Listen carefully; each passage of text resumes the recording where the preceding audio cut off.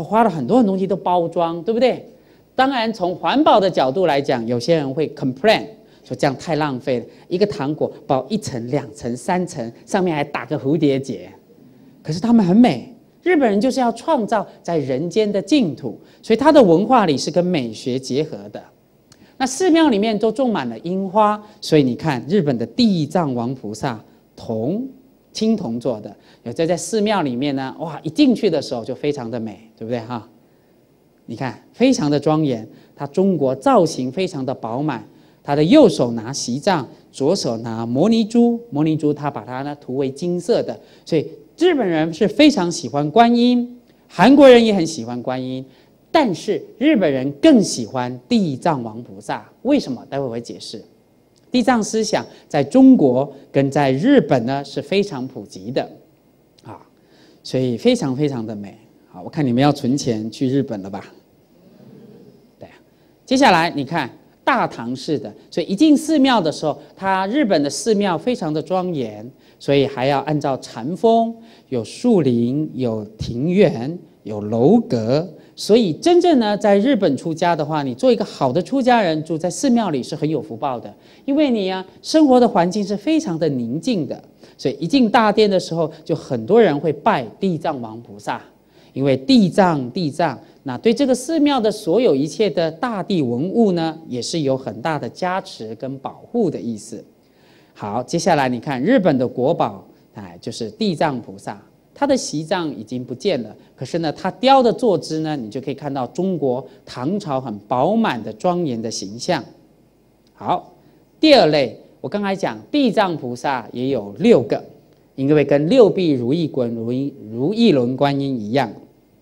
新加坡人真的很有福报，师傅第一次到福牙寺看到后面的六臂如意轮观音的时候，师傅是很大的震撼，我也流眼泪了，很感动。后来呢，我就带学生呢供香花灯果烛。所以，观音菩萨可以化现六道身度六道众生，同样的地藏菩萨也可以度六道众生。虽然这个图片比较小，你就可以看到地藏菩萨有合掌的，有拿席杖的，还有呢拿灯笼的，还有拿莲花的，它有六种造型，代表度六道众生。接下来看地藏菩萨的造像，就这样，它有六只手，看到了吗？后面看不到可以站起来没关系，对不对？它一样中间呢，两只手是拿席杖跟摩尼珠，可是另外四只手呢，就有拿法器、莲花，还有其他的不同的东西，所以它是有六只手的地藏菩萨，是代表度六道众生。好，再来看最后呢，类似有点香港造型，但是它还是属于日本风格的地藏菩萨，就有六只手。你很少看到这样的造像，我想新加坡也没有吧？啊，很少。所以下次你不要看到，哎，怎么奇怪？地藏菩萨有六只手，对，代表度六道众生。我想各位只有两只手，对不对？你不会有三只手吧？第三只手，第三只手就是小偷的意思。可是六道众生是指度六六个手是度六道众生。好，接下来。因为地藏菩萨可以千百亿化身度六道众生，满众生的愿，由此而延伸，地藏菩萨就会变成什么？送子地藏。所以日本人除了拜观世音菩萨求孩子之外，日本人非常非常流行啊，拜什么？地藏王菩萨，那叫送子地藏。啊，事实上这个雕像呢是以日本风格雕，但是在台湾南部一个寺庙，我给你看详细的。你看吗？中间的地藏王菩萨拿西藏五方佛宝盖，右手边的是拿念珠，左手的呢是拿摩尼宝。啊，注意看第一个、第二个、第三个，每一个地藏菩萨下面都有很多小娃娃，有没有？抱着他很高兴，这代表送子地藏，知道吗？所以可见菩萨真是大慈大悲哦，什么都护念，就像妈妈一样，什么都要管，所以。日本人呢是很喜欢拜地藏菩萨的，所以求地藏菩萨也可以求男得男，求女得女，在你的心。接下来再看东密式的地藏菩萨，因为从唐朝的唐密传到呢日本，曾经呢也建立东密的体系，最主要的就是空海大师的高野山，还有很多很多都有密宗的体系，乃至日本的净土真宗啊。除了呢净土宗的显教之外，它也有东密式的净土宗。所以东密的话有东密的造型，所以你看这个八大菩萨里面，地藏菩萨呢，他是拿传方，而且右手是拿摩尼珠，左手还有拿稻穗。地藏菩萨嘛，种稻子。接下来再看，很庄严，对不对？右手拿摩尼珠，他左手呢拿个莲花，莲花上面呢还有传方，这个是胎藏界的八大菩萨的地藏王菩萨。看起来很像观世音菩萨哈，跟你所供的完全是不一样的。这是东密造型的地藏王菩萨。好，接下来东密日本呢，除了佛教很兴盛外，神道教也很兴盛。就像我们中国，佛教还没有兴盛之前，我们中国本身是道教的，中国人本身是拜拜道教的。太上老君修无极，对不对？羽化成仙。所以当佛法传到中国的时候，魏晋南北朝的时候，东汉、魏晋南北朝的时候，他们就会结合，结合以后就会产生当地文化接受。那日本本身也是有神道思想，所谓神道思想就是拜土地公、土地婆，或是呢拜天神或自己的祖先这些神道思想，最后跟佛法结合以后，你看这张图片，地藏菩萨就变这样的，很像日本人哈，中间这个，对不对？好，右边两边下面呢，待会我会再说。在我们中国就产生了是什么呢？木莲尊者跟敏公长者。可是呢，这底下呢，日本人是有他两个祖师，专修地藏法门，对不对？你看头发这么长，扎两个扎扎，对不对？他还是拿席藏跟摩尼珠，这是东密式的地藏菩萨。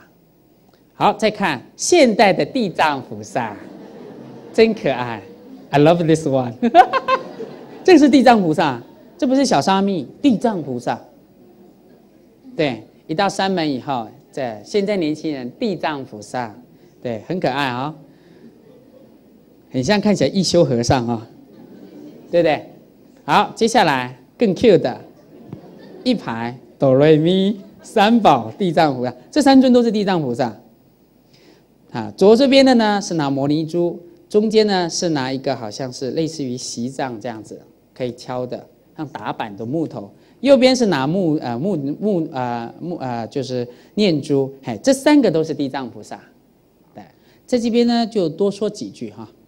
那因为是地藏菩萨，请看这个，所以但是日本一样，佛教也很兴盛，日本也经营现代化。可是当经营现代化的时候，不瞒各位说，师傅今天没有单独要处理所谓婴灵啊或堕胎的问题，这个问题很麻烦。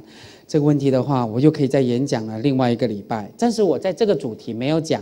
不过因为社会的关系，嗨，很多不良的人呢，就会以婴灵或堕胎来炒作呢，变成敛财，甚至一直强度到超度很重要。那这个也产生一个社会问题。那日本人呢，老实说，因为年轻人也很爱享受，所以男女关系也很复杂，所以很多未婚妈妈。还有未婚爸爸，甚至也产生了堕胎的问题。因此，那请问他们在佛门里面怎么样找到解决呢？供地藏王菩萨。我刚才在找，可能我有图片，我没有贴上来哈。明天给大家看是什么呢？我供一尊石雕的地藏菩萨，然后给他戴一个帽子，这样看起来像小娃娃这样，意思就是超度英灵。那这个呢，在日本变成一个很普遍的社会现象。当然，佛教徒跟政府呢也会公开要去处理。可是我会觉得最重要是你要小心有些人动机，因为呢，注意听哈，佛在世的时候有一个孕妇不小心怀孕了，不小心怀孕以后呢，她就堕胎了。堕胎以后呢，佛知道，他去问佛，佛说不可以，因为宝宝要出世了，你要照顾他，他跟你有缘。佛就跟他讲，你。堕胎的这个罪过啊，就有点像杀父亲、杀母亲，甚至杀阿罗汉，像忤逆重罪啊！你要忏悔。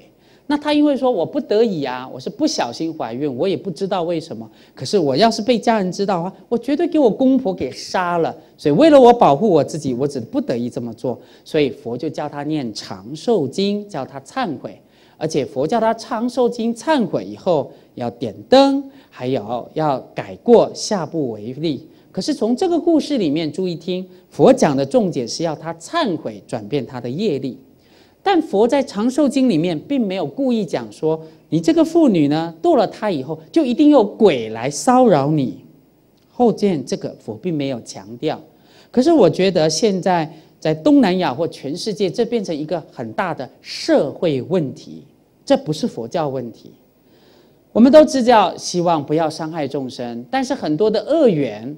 好，那不得已，那怎么办呢？举个例子，abortion 堕胎。我在 Australia 曾经读过 Advanced English Course 的时候，读高级英文班，我就写过一篇文章，就是堕胎。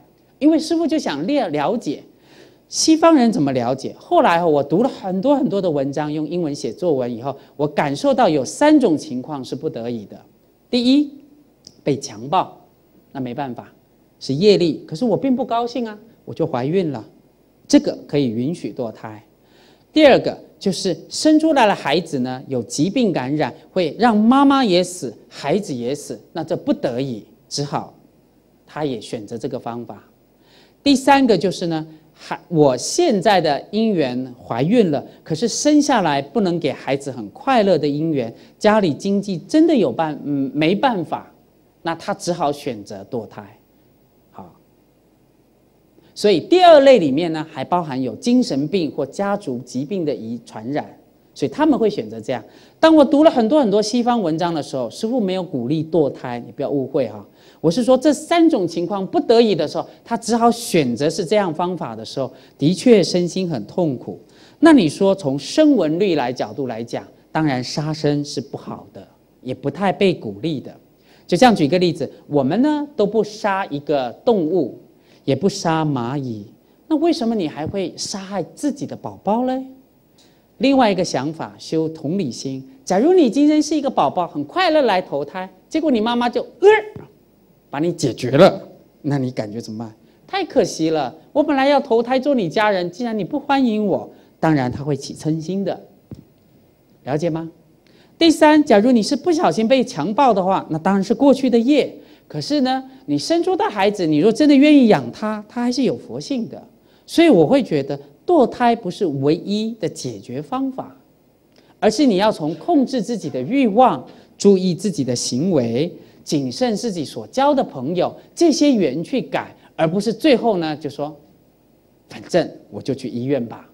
所以很多人因为没有理智、没有智慧。或是业力显现的时候做这个原则，到时候就来问我师傅怎么办？我可不可以忏悔？那当然我说凉拌哦，没办法，可以忏悔啊。可是你会很苦，对呀，你身心会很苦。为什么？第一个，其实堕胎太多了以后，对孩子是不太好的，对这妈妈的身体啊，对妇女做妈妈的身体来讲是不好的，因为你的子宫是受伤的。是不是老师，我学过很多东西。第二个就是呢，你的心里啊会觉得呢，你有罪恶感。第三个，你还会有恐惧心，你会怀疑下一个我还不会再怀孕，下一个还会不会有健康的宝宝？下一个呢，我会不会冤亲债主来投胎？下一个呢，我会不会生一个智障儿？你看你的心里有多恐惧啊！其实它不一定会发生的，所以因为这种身心的痛苦啊，因此。让佛教徒跟非佛教徒有些有世俗利益敛财的呢，就公开鼓励呢，要所谓的阴灵超度。其实，在佛陀在世是没有阴灵超度这回事的。注意听，没有这回事，不是说你现在做阴灵超度没有效，是不是要先告诉你佛原来怎么处理？所以那位妇女呢，她跟佛忏悔以后，佛教她读长寿经，重点是她忏悔了，永远不再造，她也点灯了。也做功德，而且也跟佛陀学习佛法，这个才是重点，了解吗？不然很多人会问我，师傅，我们已经堕胎了，不小心怎么超度这么久啊？人家还说我旁边有鬼啊，你旁边根本没有鬼，是你心中有恐惧不安的鬼，了解吗？那超度祖先或超度英灵，是以大悲心，希望一切的众生离苦得乐。所以，当你为英灵超度，不管有名字跟没有名字，你说有没有用呢？其实超度是有它真正的利益，佛力、法力跟自力。再回来看，你自己觉得自己错了，你现在仰仗诵经做大法会，对不对？然后法力，然后你又念佛念咒求佛力加持，佛力、法力跟自力，的确也可以把你的小孩从幽冥界众生而渡出来。来生他会投胎做人，也会继续学佛法，这样理解才是正确完整的。但是不可以投机，对不对？反正佛力、法力、智力，好，那我就堕胎。下一次没有关系了，I love you so much。哦，又怀孕了，不可以。你要控制自己的行为，对不对？是不是？不可以这样，这个叫做走法律漏洞。这样的话，我告诉你真话。地藏菩萨跟观音菩萨可能也会放弃你吧，因为你根本没有想要改变你自己，了解吗？知道吗？所以我要总结的说，我不能否定说超度英灵是没有效的，它是有效果，是因你大悲心，透过佛力、法力、自力，而真正希望他离苦得乐。那你心中要有忏悔心，这样。观音菩萨跟地藏菩萨会帮助你，会加持你的。好，这是今天要说的。好，今天讲经就到这一个段落。我回答一两个问题，我们就可以回向啊。时间差不多了。师父，请问地藏菩萨是过去哪一尊佛来转世的？答案注意听。他虽然的正悟的正悟的这个境界是已经到佛。可是他的愿心还没有视现为八相成佛，所以地藏菩萨呢没有过去佛的名号。佛经里讲是说他的修持正悟以及深深度众生，他的智慧啊等同于佛。可是他并没有像释迦牟尼佛或阿弥陀佛，不对不起，释迦牟尼佛或是弥勒菩萨一样。从倒立天宫、舍兜率、降王宫、弃位出家、苦行学道、视现八相成道成佛，所以对不起，地藏菩萨还没有过去佛的名号，他就叫做地藏菩萨摩诃萨。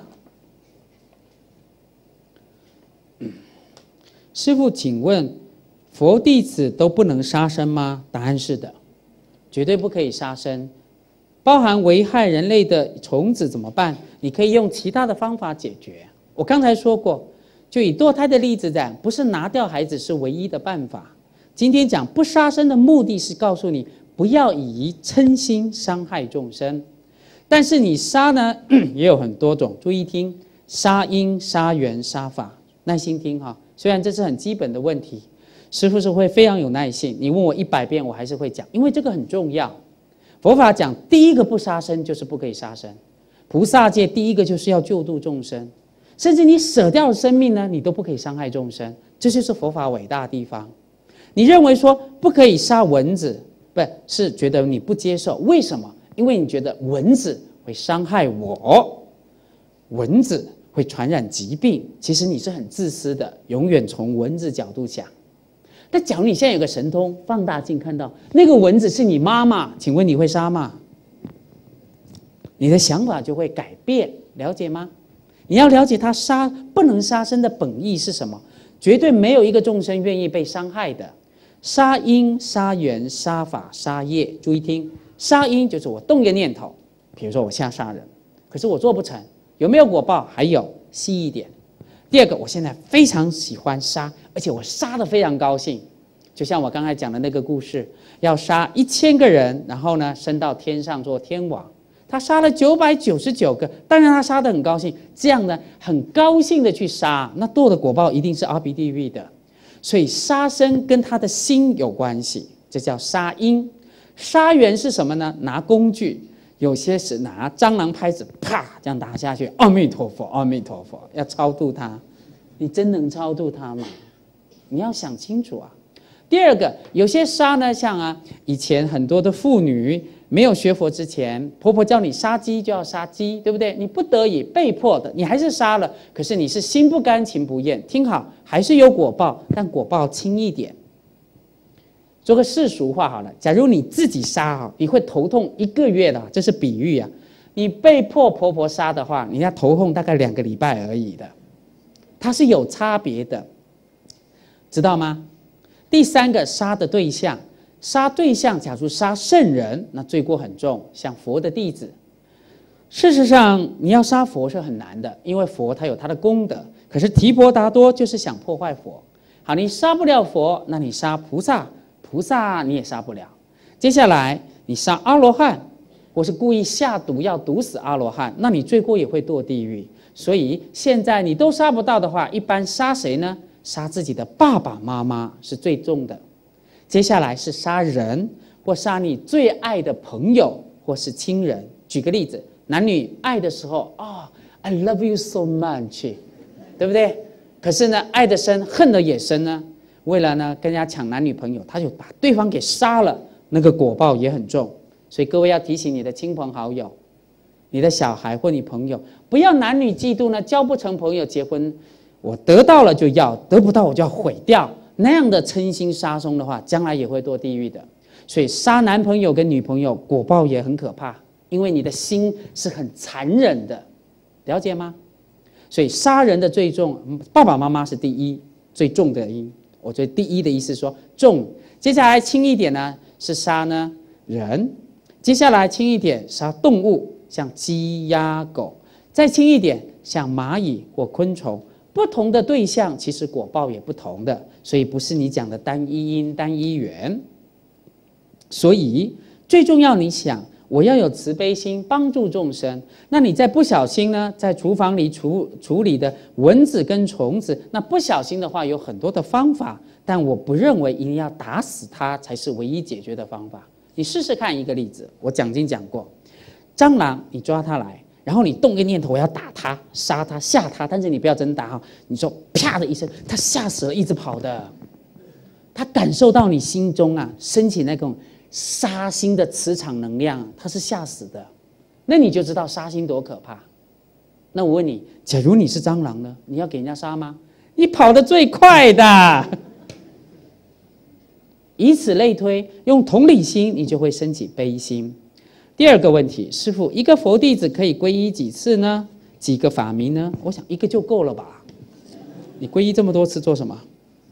皈依多次的原因是有这样。好，第一个，第一次皈依就是透过善知识皈依释迦牟尼佛十方三世一切常住三宝。第二个，我们叫结缘皈依，你跟这个善知识很有缘。其实我觉得有没有这个皈依啊，那还其次，最重要你要按照这善知识所教的佛法去做才很重要。法名呢有几个，一个就好了吧，不要这么贪吧。像我叫新红师，我要很多师吗？一个师就可以啦，新红法师就好。我有外号有内号，一个法名就可以了吧？师傅，请问如果要念地藏经，是否要？呃，选择放地藏菩萨的佛像呢？如果对着虚空念，或者在其他佛像念，可以吗？答案是可以，不会冲突。你念地藏经，假如能够对着地藏菩萨的圣像，假如你是在家里念，那你因为看到佛像，佛像有佛像的功德，你比较比较容易专注而升起恭敬心跟清净心，很好。但是你若出了门呢？你是坐捷运或坐飞机？对不对？你不用搬一尊地藏菩萨跪放放在你面前吧？你一样可以对着虚空可以念。为什么呢？观想地藏菩萨的功德就广大如虚空嘛，他的心量、悲心、愿力都一样，都像虚空一样，所以哪里可以都念地藏经的。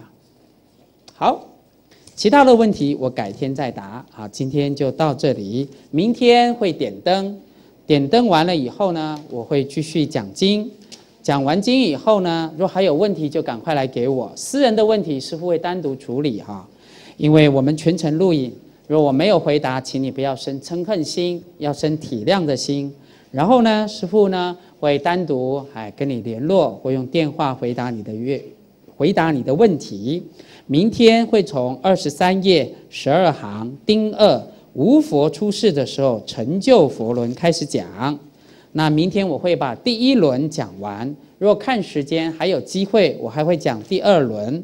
第二轮比较长，我会先介绍重点。那明天还要回答问题，然后呢，最后大会明天结缘出场的时候，因为你们要点灯嘛，又要听经，所以我建议先不要入场的时候发结缘品，出场的时候在门口，然后由大会这个宽记念佛堂供养所有的人呢，一人一套。十善业道经，十善业道经非常重要，是我在巴旦岛讲的。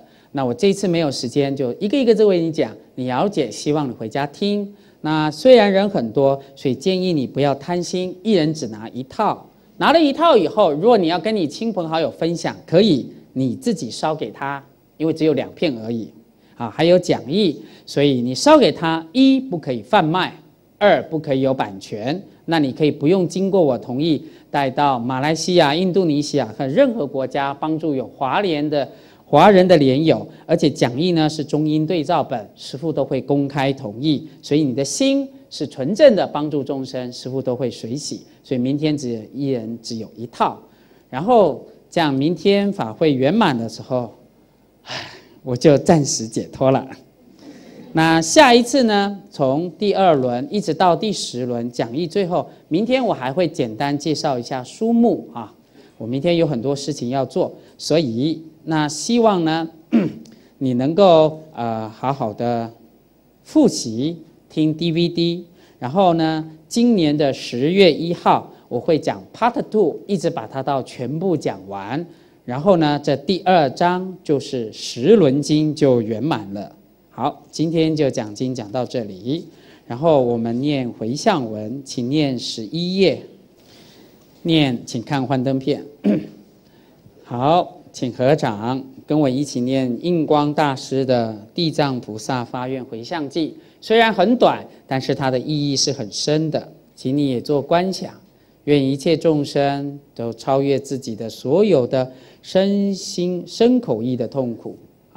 愿一切众生都真正能够所求如愿啊！愿一切众生都成佛。好，我念一段，你跟着我念：大事誓愿不可测。运杯抽片成刹国，众生静候四方休，地狱空时愿始息，受化多成无上道，自身由是生闻机。只缘生佛性为一，欲令同获就近际。好，阿弥陀佛。好，今天本来我还要讲一个故事，是地藏感应的，因为有点长，也很精彩，我留到明天再说。好，今天就讲经讲到这里，谢谢各位，明天见。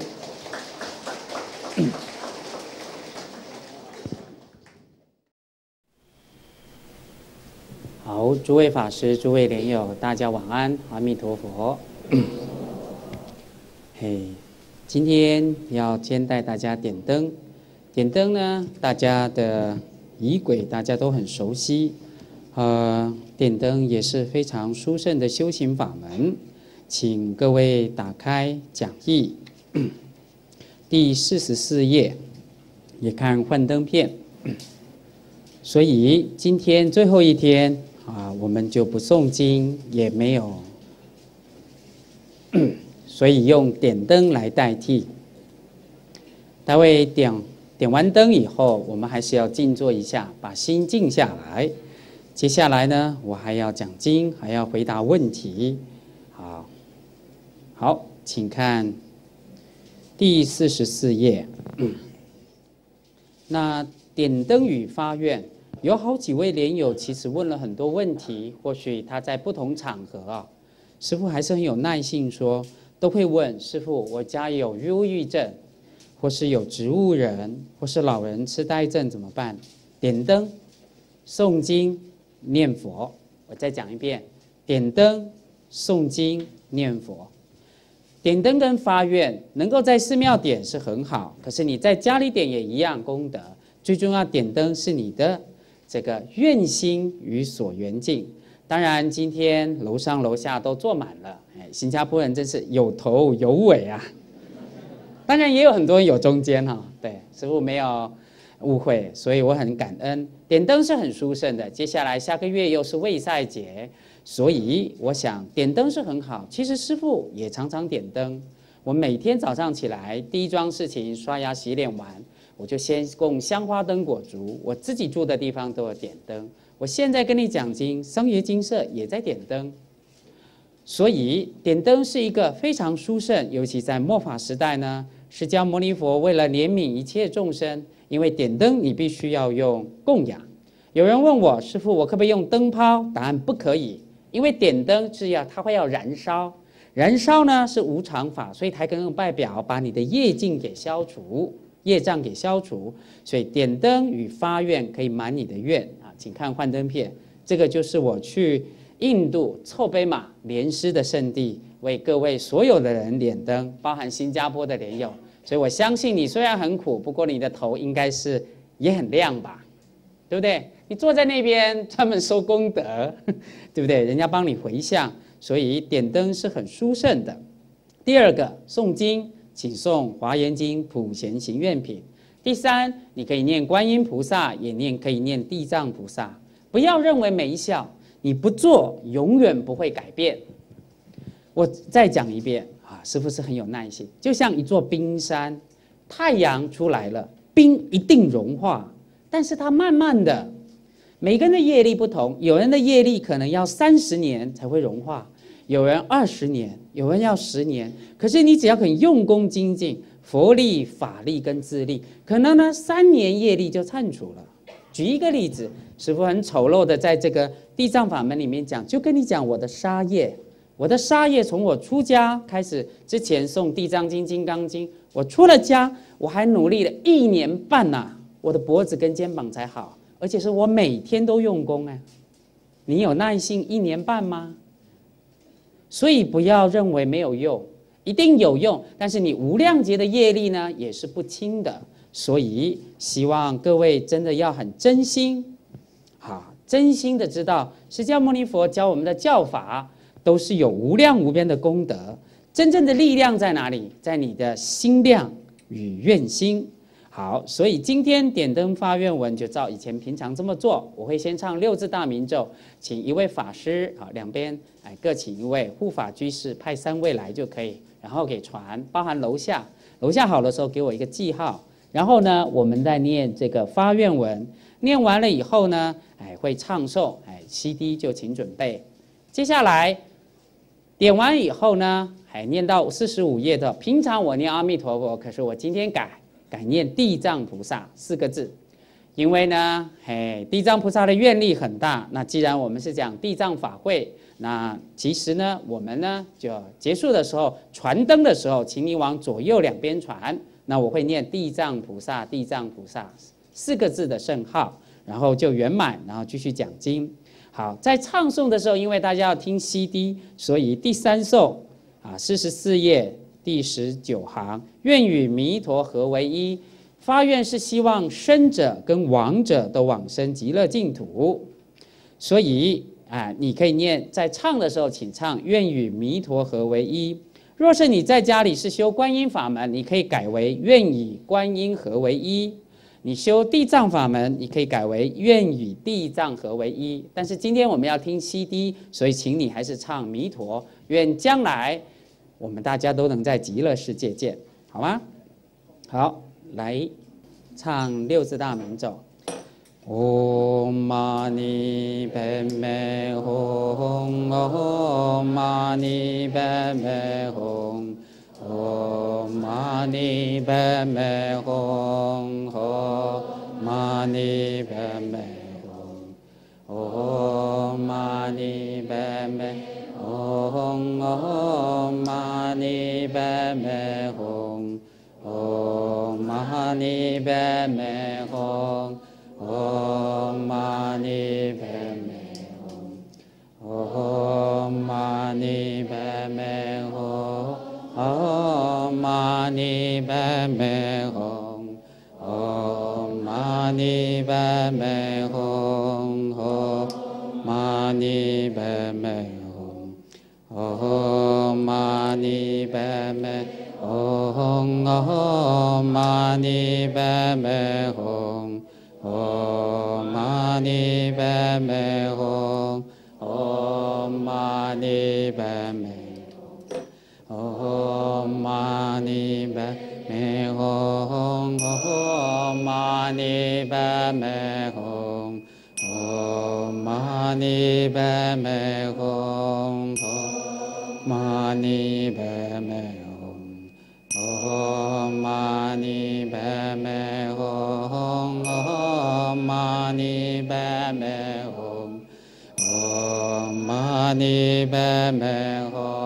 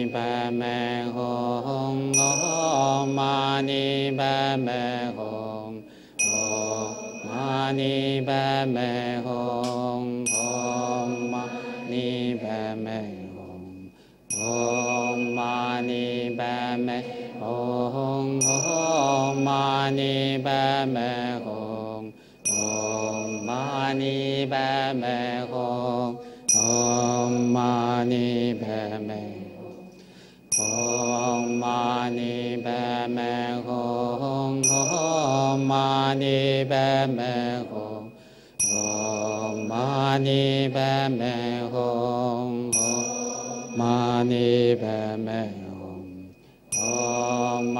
ni ba me hum hum ma ni ba hum Om Mani Padme hum Om Mani Padme hum Om Mani Om Mani Padme Hum Om Mani Padme Hum ni ba ma hum hum ma ni ba ma hum hum ma ni ba ma hum hum ma ni ba ma hum hum ma ni ba ma hum hum ma ni ba ma hum hum ma ni ba ma hum hum ma ni ba ma hum Mani Padme Hum Om Mani Om Mani Padme Hum Om Mani Padme Hum Om Mani Padme Hum Om Mani Padme Hum Om Mani Padme Hum Om 尼叭美吽，吽嘛尼叭美吽，吽嘛尼叭美吽，吽嘛尼叭美吽，吽嘛尼叭美吽，吽嘛尼叭。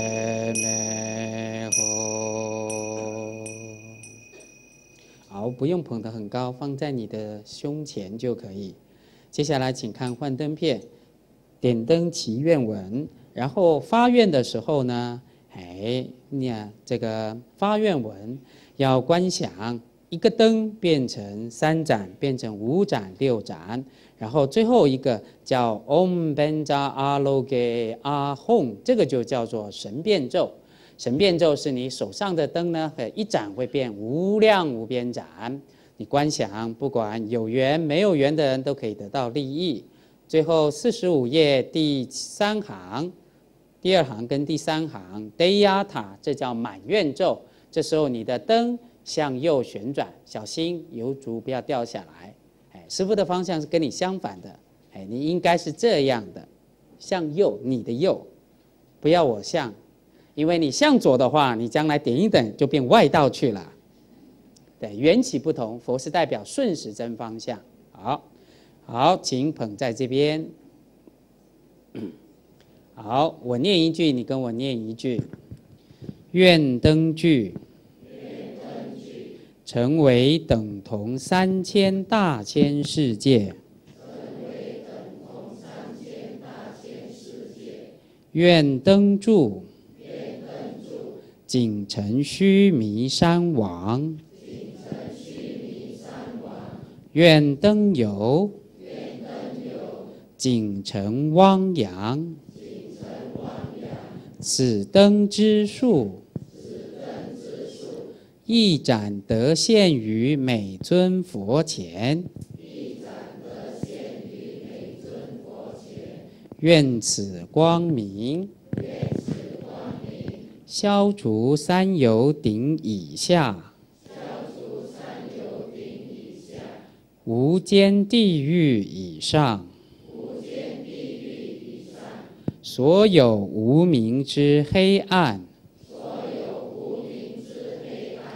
愿十方诸佛菩萨之净土，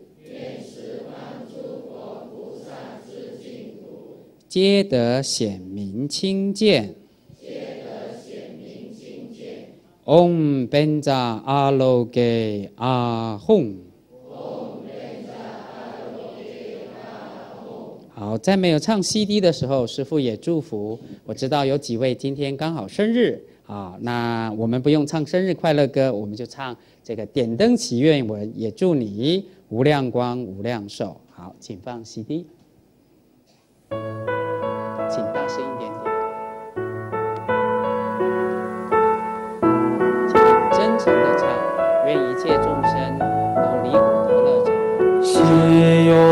光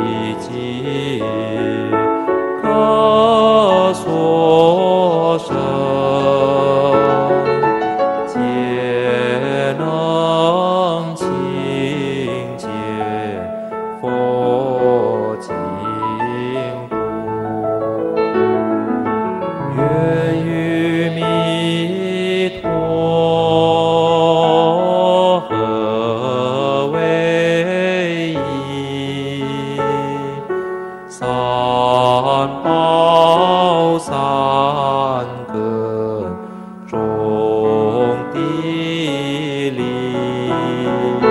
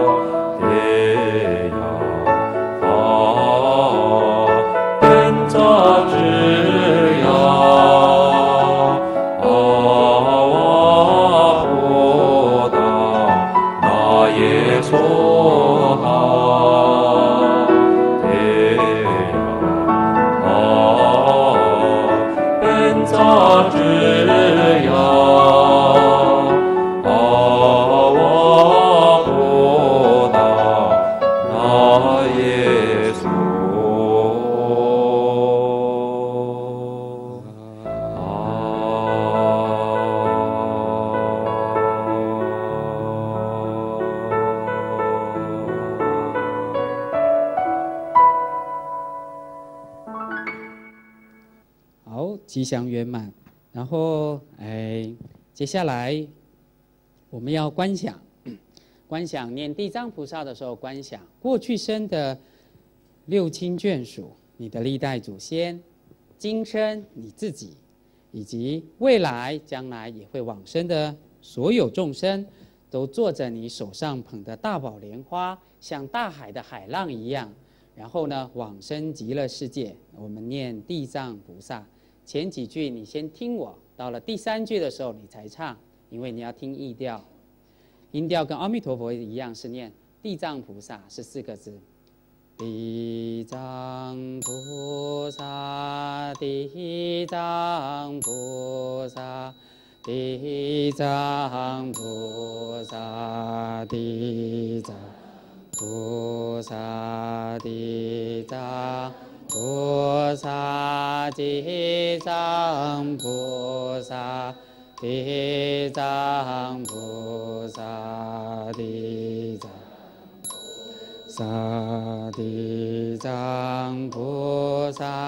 地藏菩萨地藏菩萨地藏菩萨地藏。菩萨，地藏菩萨，地藏菩萨，地藏菩萨，地藏。菩萨，地藏菩萨，地藏菩萨，地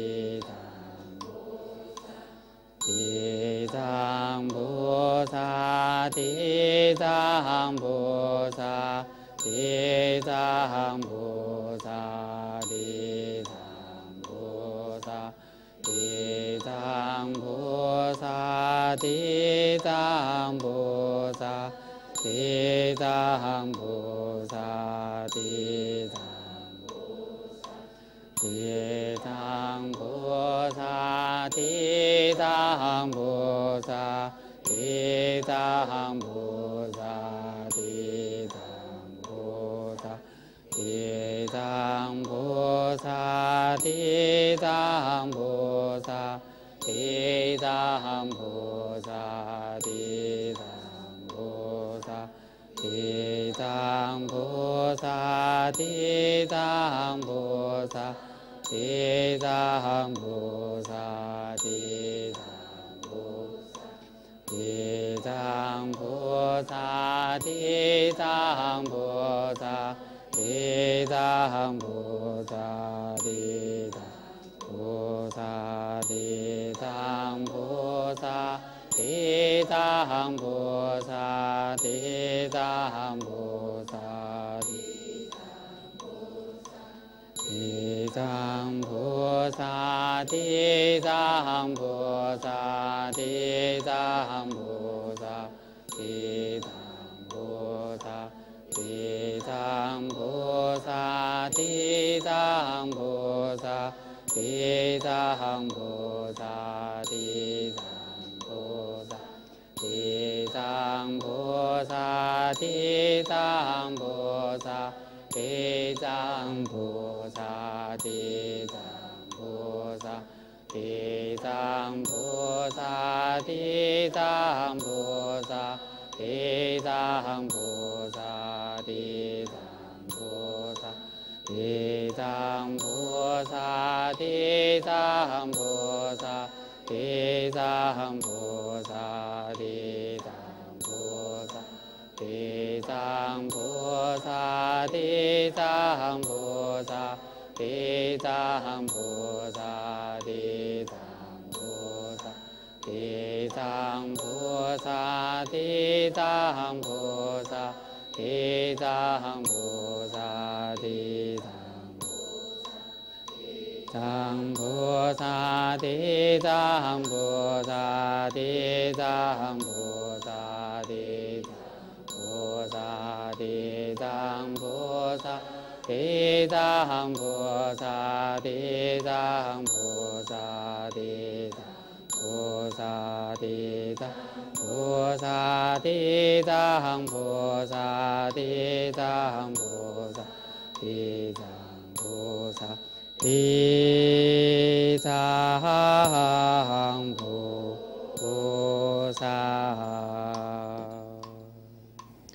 嗯，请看二十三页第十二行丁二，无佛出世成就佛轮。昨天讲到第十一行，二十三页第十一行己二国土安乐。好，昨天呢有一两张图片呢，我是找到了，但是我比较忙，忘了贴到 PowerPoint，所以今天跟大家介绍，哎，无佛出世。在没有佛出世的时候呢，地藏菩萨的愿力很大，请看幻灯片，所以就会有日式的地藏王菩萨。你看他一进入门的时候，就会有个木头，先要你洗手、斋戒沐浴，这样这是很好的。啊，呃，地藏菩萨藏文叫萨隐音波，这是呢日本式的地藏菩萨。可是你有看到地藏菩萨的脖子戴一个围兜兜，对不对？这个是呢，地藏水地水地藏水子地藏或是送子地藏，在日本是一个文化。师父第一次看到的时候，我也觉得非常有趣啊。我们从来不会把围兜兜呢拜在佛菩萨，或者盖一个帽子这样子，那是他们的文化。